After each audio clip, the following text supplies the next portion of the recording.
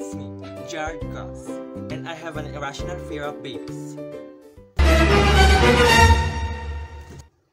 Not like that.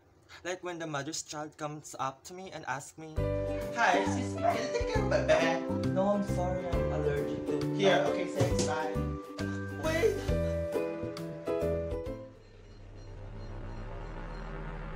What if I just drop this baby?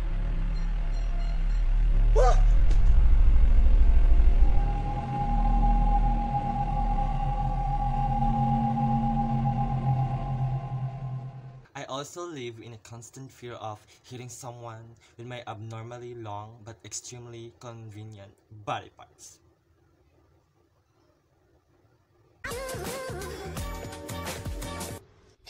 Oh, oh my god. Are you okay? Call ambulance. I was talking about my arms, you nasty.